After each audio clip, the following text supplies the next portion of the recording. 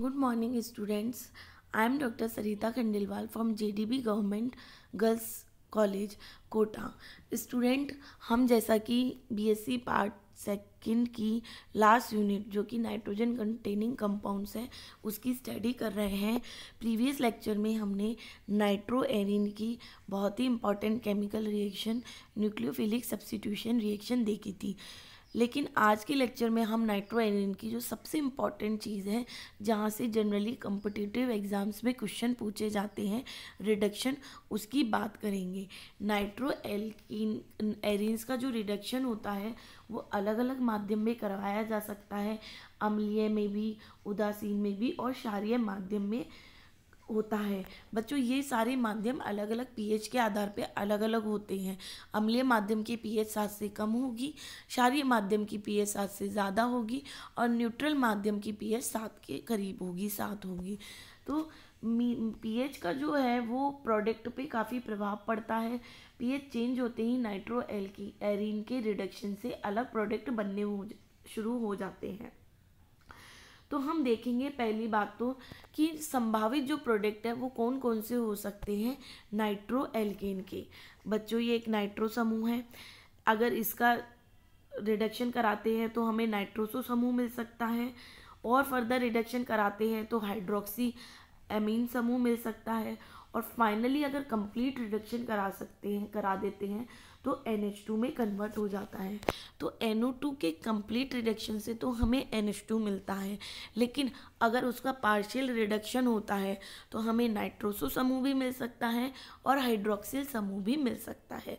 तो डिपेंड करता है कि जो नाइट्रो एरीन है, उसमें नाइट्रो समूह का रिडक्शन पार्शियल हो रहा है कंप्लीट हो रहा है पार्शियल हो रहा है तो कौन सी स्टेप पे हो रहा है? यही कारण है कि जो अलग अलग माध्यम है, उसमें अलग अलग प्रोडक्ट मिलते हैं। बच्चों, ऐसा भी देखा गया है कि जो रिडक्शन जो होता है, उससे जो प्रोडक्ट मिलते हैं, वे भी आपस में एडिशन रिएक्शन देके कुछ बाय मोलिकुलर कंपाउंड का निर्माण भी कर लेते हैं। मतलब जो दो प्रोडक्ट बना आपका और वो प्रोडक्ट आपस में जुड़ गए, दो मॉलिक्यूल जुड़ गए। तो ये भी फाइनल प्रोडक्ट के रूप में कई बार देखा गया है। तो ये तो थी पॉसिबिलिटी की रिडक्शन से क्या क्या प्रोडक्ट मिल सकते हैं। अब हम अलग अलग माध्यम लेते हैं और हम देखते हैं कि किस माध्यम में कौन सा प्रोडक्ट मिलता है। सबसे पहले हम देखेंगे reduction in acidic medium acidic medium में जो नाइट्रो एल्केन होता है, उनका कंप्लीट ऑक्सीडेशन हो जाता है रिडक्शन हो जाता है सॉरी बच्चों, और NO2 ग्रुप जो है, वो NH2 ग्रुप में बदल जाता है। यहाँ पे आपको दिख रहा है नाइट्रोबेंजीन अगर इसका एसिडिक मीडियम में रिडक्शन कराया जाता है तो NO2 ग्रुप NH2 ग्रुप में बदल जाएगा और आपको एनिलिन मिल रहा है। कंप्लीट रिडक्शन के लिए सिक्स एच मतलब तीन बार रिडक्शन होता है two H two H two H करके तो सिक्स हाइड्रोजन की ज़रूरत होती है। तो ये तो हो गया रिडक्शन में क्या प्रोडक्ट मिला है। अब हम बात करते हैं कि जो एसिडिक मीडियम है, वो कौन कौन से हैं, जिनमें कि नाइट्रो एल्केन का रिडक्शन कराया जा सकता है।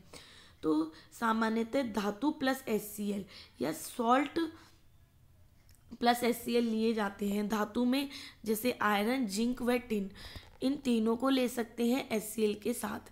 Zinc SCL iron SCL tin SCL या तो ये एसिडिक मीडियम होता है या tin chloride plus S C L T I C L three plus S C L तो ये जो सारे मीडियम हैं, ये हैं आपके एसिडिक मीडियम इनकी प्रेजेंस में अगर रिएक्शन कराई जाती है तो कंप्लीट रिडक्शन होगा और एनिलिन फाइनल प्रोडक्ट के रूप में मिल जाएगा। तो ये तो हो गया reduction of nitro arene in acidic medium अब हम बात करते हैं रिडक्शन इन न्यूट्रल मीडियम बच्चों जो न्यूट्रल मीडियम होता है, उसमें भी अलग अलग रिएजेंट की प्रेजेंस में अलग अलग प्रोडक्ट मिलते हैं। फॉर एग्जांपल फ़र्स्ट देखते हैं, अगर आयरन पाउडर व भाप भाप क्या होता है? वाटर स्टीम इसका यूज़ किया जाए तो नाइट्रोसो एरीन बनता है। नाइट्रोसो एरीन का निर्माण होता है। लेकिन यदि रिड्यूसिंग एजेंट में जिंक और N H four C L का लिया जाता है तो हाइड्रोक्सिल अमीन का निर्माण होता है। ठीक है? तो आपने देखा दोनों में ही नाइट्रोबेंजीन है, लेकिन आयरन और भाप की प्रेजेंस में नाइट्रोसोबेंजीन मिला और यहाँ हाइड्रोक्सिल एमीन मिला। तो देखा आपने कि अलग अलग माध्यम लिए उदासीन, फिर भी अलग अलग प्रोडक्ट मिले। अब हम देखते हैं रिडक्शन इन एल्कलाइन मीडियम क्षारीय माध्यम में किस तरह से रिडक्शन होता है। ये देखा गया कि जब नाइट्रोबेंजीन का क्षारीय माध्यम में रिडक्शन कराने पर कई बाय न्यूक्लियर यौगिक मिलते हैं, दो बेंजीन वाले वाले उत्पाद मिलते हैं। इसका मतलब ये है कि जो दो प्रोडक्ट बने, वो आपस में जुड़ जाते हैं। आप देखें कि नाइट्रोसोबेंजीन बना प्रोडक्ट या फिनाइल हाइड्रोक्सिल एमीन बना। दो पॉसिबिलिटी है। ये आपस में जुड़ गए। इनसे इनके बीच में डिहाइड्रेशन हो गया और एजॉक्सी बेंजीन आपको मिल गया। तो जब क्षारीय माध्यम में कराया जाता है, कुछ नाइट्रो एरिन्स होते हैं, वो तो नाइट्रोसोबेंजीन में बदल जाते हैं और कुछ नाइट्रोसो कुछ नाइट्रो एरिन्स होते हैं, वो फिनाइल हाइड्रोक्सिल अमीन में बदल जाते हैं। ये नाइट्रोसोबेंजीन और फिनाइल हाइड्रोक्सिल अमीन आपस में रिएक्शन कर लेते हैं वाटर निकल जाता है और एजोक्सी बेंजीन का निर्माण होता है। ये एजोक्सी बेंजीन का फिर रिडक्शन होता है और एजोक्सी बेंजीन के रिडक्शन से एजो बेंजीन का निर्माण होता है। एजो बेंजीन का फर्दर रिडक्शन होता है, उससे हाइड्रेजो बेंजीन का निर्माण होता है और हाइड्रोजो बेंजीन का फर्दर रिडक्शन होने पर एनिलीन का निर्माण होता है। तो आप अलग अलग स्टेप पे यहाँ अलग अलग प्रोडक्ट मिल रहे हैं। तो आप देखेंगे कि क्षारीय रिडक्शन जब होता है बेसिक रिडक्शन जब कराया जाता है तो कई वैरायटी ऑफ़ प्रोडक्ट बनने की संभावना होती है और इसी में आपको बाय न्यूक्लियर कंपाउंड भी मिल सकता है। अब बात आती है कि कौन से प्रोडक्ट बनेगा तो ये डिपेंड करता है अपचायक या रिड्यूसिंग एजेंट की प्रकृति पर। यदि क्षारीय sodium arsenite basic sodium arsenite के साथ रिएक्शन कराते हैं तो हमें एजॉक्सी बेंजीन फाइनल प्रोडक्ट मिलता है। तो अगर ऑब्जेक्टिव आ गया कि सो बेसिक सोडियम आर्सेनाइट की प्रेजेंस में मेजर प्रोडक्ट क्या है तो आपको ये याद रखना पड़ेगा कि उसकी प्रेजेंस में मेजर प्रोडक्ट एजॉक्सी बेंजीन है। ठीक है? जब नाइट जब नाइट्रोबेंजीन का रिडक्शन बेसिक सोडियम स्टेनाइट या जिंक व मिथेनॉल के साथ कराया जाता है तो एजोबेंजीन फाइनल प्रोडक्ट मिलता है। तो आपने देखा सोडियम स्टेनाइट ले लो या जिंक मिथेनॉल सॉल्यूशन ले लो एजोबेंजीन फाइनल प्रोडक्ट मिलता है। यहाँ पे दे रखा है। यहाँ पे फिनाइल हाइड्रोक्सिल अमीन मिला और उनके आपस में रिएक्शन होके एजोबेंजीन बन गया। यदि जिंक डस्ट वह के के साथ रिड्यूसिंग एजेंट ले और उसके साथ रिडक्शन कराया जाए तो हाइड्रेजो बेंजीन फाइनल प्रोडक्ट मिलता है। तो अपने तीन कंडीशन देखी। तीन कंडीशन में तीन अलग अलग प्रोडक्ट मिले अलग अलग रिड्यूसिंग एजेंट की प्रेजेंस में अलग अलग प्रोडक्ट मिले। बच्चों, आपको इसे अच्छे से मेमोराइज करना है। आँखें बंद करके आपको पूछे कि सोडियम आर्सेनाइड की प्रेजेंस में क्या मिलता है? सोडियम स्टेनाइड की प्रेजेंस में क्या मिलता है? जिंक डस्ट और क्यू की प्रेजेंस में क्या मिलता है? तो आपको आँखें बंद करके आपको प्रोडक्ट पता होना चाहिए। ये काफ़ी कम्पिटिटिव एग्ज़ाम्स में पूछा जाता है। अब हम एक फोर्थ टाइप का भी रिडक्शन अब देखा गया है नाइट्रो एल्केन का, जिसे हम कहते हैं इलेक्ट्रोलाइटिक रिडक्शन इसकी जो सबसे पहले स्टडी की थी, वो हैबर साइंटिस्ट ने की थी। जो रिडक्शन होता है, वो दो स्टेप्स में पूरा होता है। नाइट्रोबेंजीन नाइट्रोसोबेंजीन बनाता है, फिर फिनाइल हाइड्रोक्सिल अमीन बनता है, और फाइनली एनिलिन बनता है। तो प्राइमरी जब वो इलेक्ट्रोलाइटिक रिडक्शन कराया जाता है तो जो एसिडिक और बेसिक कंडीशन में प्रोडक्ट बनते हैं, वैसे ही करते हैं। लेकिन ये उत्पाद फिर परस्पर अभिक्रिया करके द्वितीय रासायनिक अभिक्रिया द्वारा अंतिम उत्पाद मिलाते हैं। जब एसिडिक और बेसिक मीडियम में कराया जाता है तो ये फाइनल प्रोडक्ट मिल जाते हैं। लेकिन जब इलेक्ट्रोलाइटिक कंडीशन में कराया जाता है तो इनकी सेकेंडरी केमिकल रिएक्शन होती है और फिर फाइनल प्रोडक्ट मिलता है। एल्कोहल में नाइट्रोबेंजीन के इलेक्ट्रोलाइटिक रिडक्शन से एनिलीन मिलती है, ठीक है? क्या मिलता है? फाइनल प्रोडक्ट एनिलीन भी देखिए नाइट्रोबेंजीन के कंसनट्रेट एच वाला सॉल्यूशन ले ले और हम उसकी इलेक्ट्रोलाइट वो कराएँ तो पैरा, ये आपको मिलता है पैरा अमीनो फिनॉल जो फिनाइल हाइड्रोक्सिन अमीन सिंपल बन रहा है, उसका रीअरेंजमेंट हो जाता है। तो क्षारीय माध्यम में अगर इलेक्ट्रोलाइटिक रिडक्शन कराते हैं तो वो सभी प्रोडक्ट बनते हैं जो क्षारीय माध्यम में रिडक्शन से बनते हैं। तो बच्चों, आपने यहाँ देखा कि जो इलेक्ट्रोलाइटिक रिडक्शन होता है, उसका भी कोई माध्यम हो सकता है। एसिडिक हो सकता है, बेसिक हो सकता है न्यूट्रल हो सकता है, लेकिन जो इनके फाइनल प्रोडक्ट होते हैं, वो अलग होते हैं। ये जो बी वाला एग्ज़ाम्पल है, ये काफ़ी क्वेश्चंस कम्पिटिटिव एग्ज़ाम में पूछा गया है, क्योंकि आपने देखा कि सिंपल अगर हम रिडक्शन कराते हैं तो हाइड्रोक्सिल अमीन बनता है, लेकिन जब हम इलेक्ट्रोलाइटिक रिडक्शन करा रहे हैं तो इनमें रीअरेंजमेंट हो जाता है और पैरा अमीनो फिनॉल मिलता है। तो आपको इलेक्ट्रोलाइटिक रिडक्शन में भी आपको माध्यम के अकॉर्डिंग क्या प्रोडक्ट बन रहा है, वो आपको याद करना है। तो बच्चों, ये थी reduction of nitroarene in acidic basic neutral and electrolytic medium ये काफ़ी इंपॉर्टेंट है। आपको हर एक मीनियम का आपको रिएजेंट और प्रोडक्ट याद होना चाहिए मेमोराइज होनी चाहिए, चाहे तो आप इसे एक टेबुलर फॉर्म में बना के अपने लिए नोट्स बना सकते हैं।